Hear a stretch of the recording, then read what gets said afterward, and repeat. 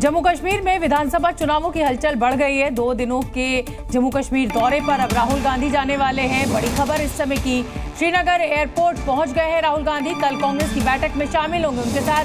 कांग्रेस अध्यक्ष मल्लिकार्जुन खड़गे भी मौजूद हैं और दो दिनों के दौरे पर राहुल गांधी, जो कि लीडर ऑफ़ ऑपोजिशन भी है, पहुँच चुके हैं उनके साथ। खड़गे, मल्लिकार्जुन खड़गे, जो कि कांग्रेस के अध्यक्ष हैं, वो भी मौजूद हैं।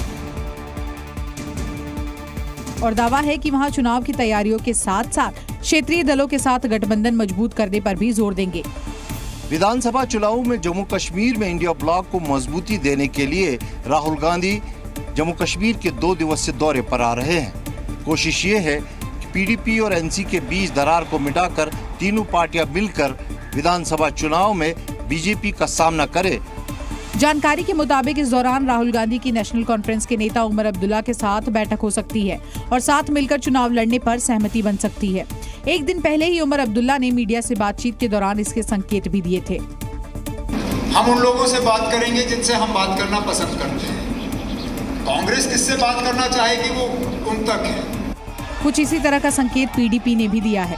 कि राहुल जी भी आ रहे हैं तो इलेक्टोरल और ये अलायंस होगा नहीं होगा तो, तो बैठ कर वो तय होगा। तो कहीं ना कहीं मैंने सुना है कि कहीं कुछ बात इस बारे में हुई है। विधानसभा चुनाव की घोषणा होने के बाद राहुल गांधी और मल्लिकार्जुन खड़गे का पहला जम्मू कश्मीर का दौरा है। जम्मू कश्मीर में तीन चरणों में चुनाव होंगे वोटिंग 18 सितंबर, 25 सितंबर और 1 अक्टूबर को होगी जबकि वोटों की गिनती 4 अक्टूबर को की जाएगी। पिछले कुछ दिनों से झारखंड की राजनीति में जारी सियासी हलचल के बीच प्रदेश के पूर्व मुख्यमंत्री चंपाई सोरेन ने अपनी स्थिति को साफ़ कर दिया है। उन्होंने कहा कि फ़िलहाल वो राजनीति से संन्यास नहीं लेंगे।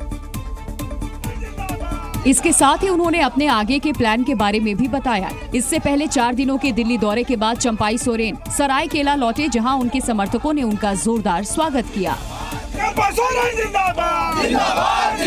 समर्थकों का जोश देखकर चंपाई सोरेन ने भी संन्यास लेने की बात से साफ़ इनकार कर दिया। अब सोचे थे संन्यास लेंगे लेकिन हमारा समर्थक निश्चित तौर पे लोगों का प्यार बहुत ज़्यादा है। प्यार इनका प्यार है। इसीलिए शायद उस चिप चिपकर क्लोज होगा हालाँकि उन्होंने ये ज़रूर बताया कि उनके पास सब भी कई विकल्प है जिन पर वो सोच समझ कर फैसला करेंगे। संगठन को बनाएँगे। या उसी रास्ते में अगर अच्छा दोस्त मिलेगा तो हम दोस्ती करेंगे। अपने स्टैंड पर कायम है आप। अपना स्टेप इस दौरान उन्होंने मीडिया कर्मियों के सवालों का जवाब देते हुए शिबू सोरेन या मुख्यमंत्री हेमंत सोरेन से बातचीत से भी इनकार किया। कोलकाता के आरजीकर मेडिकल कॉलेज में ट्रेनी महिला डॉक्टर के साथ हैवानियत मामले में पूर्व प्रिंसिपल संदीप घोष लगातार सवालों के घेरे में हैं और इस मामले में सीबीआई की संदीप घोष से पूछताछ लगातार जारी। और इसी कड़ी में सीबीआई ने लगातार छठे दिन संदीप घोष से पूछताछ की। इसके लिए पूर्व प्रिंसिपल संदीप घोष सीबीआई दफ्तर पहुँचे, जहाँ उनसे सीबीआई के अधिकारियों ने कई सवाल किए। इससे पहले सीबीआई ने पिछले पाँच दिनों में संदीप घोष से 60 से ज़्यादा सवाल पूछे। मेडिकल कॉलेज के पूर्व प्रिंसिपल संदीप घोष शुरू से ही इस मामले में सीबीआई की रडार पर हैं। उनकी भूमिका शक के घेरे में है। आरोप है कि तत्कालीन प्रिंसिपल संदीप घोष ने पूरी घटना के बारे में जानने के बाद एक बैठक की थी और पुलिस को बहुत देर से इसकी जानकारी दी थी।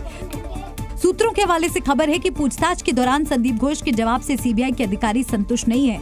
ये भी खबर है कि संदीप घोष अलग अलग सवालों पर दिए गए अपने ही जवाब को बदल रहे हैं और यही वजह है कि सीबीआई के अधिकारी उनसे लगातार पूछताछ में जुटे हुए हैं। और इसी बीच कोलकाता के आरजीकर मेडिकल कॉलेज के पूर्व प्रिंसिपल डॉक्टर संदीप घोष के बारे में कई चौंकाने वाली जानकारियाँ सामने आई हैं। आरोप है कि संदीप घोष ने साल 2021 में कोविड के दौरान अस्पताल में तीन गुना ज़्यादा खर्च किया, जबकि साल 2022 में लैब बनाने में पाँच गुना ज़्यादा खर्च किया गया।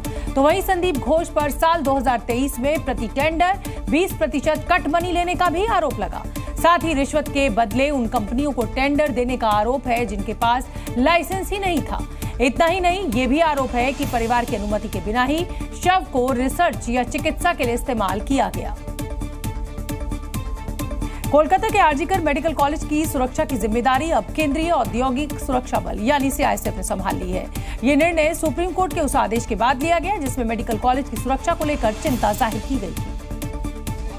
जिसके बाद सीआईएसएफ के जवानों के साथ कई अधिकारी वहाँ पहुँचे और हालात का जायजा लिया। साथ ही वहाँ अस्पताल प्रशासन के साथ भी बैठक की गई। इस वक्त हम देख सकते हैं इस अस्पताल की एडमिनिस्ट्रेटिव बिल्डिंग प्लेटिनम जुबिली भवन। इस भवन के अंदर आरजीकर अस्पताल के अभी की जो आला अधिकारी है, जो अथॉरिटी है, उसके साथ डीआईजी सीआईएसएफ एक अहम बैठक में जुड़े हुए हैं। इस बैठक से वो जानना चाहते हैं कि अर्जिकर अस्पताल में घटना से पहले किस तरह का सिक्योरिटी इंतज़ाम था। एक तरफ़ जहाँ ट्रेनी महिला डॉक्टर रेप और हत्या मामले में सीबीआई एक्शन मोड में है, वहीं आरजीकर मेडिकल कॉलेज के बाहर डॉक्टरों का प्रदर्शन भी लगातार जारी है। इसी दौरान डॉक्टरों ने एक मार्च भी निकाला, जिसमें कई डॉक्टर अपने हाथों में तख्तियाँ लिए नज़र आए। डॉक्टरों ने साफ़ कहा कि जब तक उन्हें न्याय नहीं मिल जाता, उनका ये प्रदर्शन ऐसे ही जारी रहेगा। महिला डॉक्टर के रेप और हत्या मामले में एएसआई अरूप दत्ता की भूमिका भी सवालों के घेरे में है और यही वजह रही कि इस मामले में सीबीआई ने एएसआई अरूप दत्ता से करीब आठ घंटे तक पूछताछ की। बताया गया कि उनके बयानों की जाँच जारी है और उन्हें दोबारा पूछताछ के लिए बुलाया जा सकता है। ये भी बताया गया कि अरूप दत्ता और आरोपी संजय रॉय के बीच काफ़ी निकटता थी और सीबीआई इसी बात को लेकर जाँच कर रही है। संजय रॉय को 2019 में आपदा प्रबंधन समूह के लिए सिविक वॉलंटियर के रूप में भर्ती किया गया था, लेकिन उसने वहाँ कभी काम नहीं किया। वो कोलकाता पुलिस वेलफेयर बोर्ड के लिए काम करने लगा। और यही वजह रही कि सीबीआई के अधिकारियों ने अरूप दत्ता से संजय रॉय के साथ उनके कथित संबंधों के बारे में पूछताछ की। ठाणे के बदलापुर में बच्चियों से दरिंदगी का मामला अभी शांत भी नहीं हुआ था कि महाराष्ट्र से ही एक और दरिंदगी का मामला सामने आ गया। ताज़ा मामला अकोला का है जहाँ एक टीचर पर छह छात्राओं के साथ छेड़छाड़ का आरोप लगा है। जिसके बाद पुलिस स्कूल पहुँची और आरोपी टीचर को गिरफ़्तार कर लिया। कल हमारे स्कूल में हौसला का कार्यक्रम था। उस समय समुपदेशन किया और उनके बाद जयसपाल मैडम बच्ची को मिलने गए आठवीं के सातवीं के। तो कुछ बच्चियों ने बोला कि भैया हमारे साथ ऐसा ऐसा होता। आरोप है कि शिक्षक प्रमोद सरकार आठवीं क्लास में पढ़ने वाली कुछ बच्चियों को अश्लील वीडियो दिखाता था और उन्हें गलत तरीके से छूता था। इतना ही नहीं, वो लड़कियों के साथ अश्लील बातें भी करता था। इस बात का खुलासा तब हुआ जब काउंसलिंग के लिए चाइल्ड लाइन के कुछ सदस्य स्कूल पहुँचे। इस दौरान बच्चियों ने उन्हें इसकी जानकारी दी, जिसके बाद पुलिस तुरंत हरकत में आई और आरोपी टीचर को गिरफ़्तार कर लिया।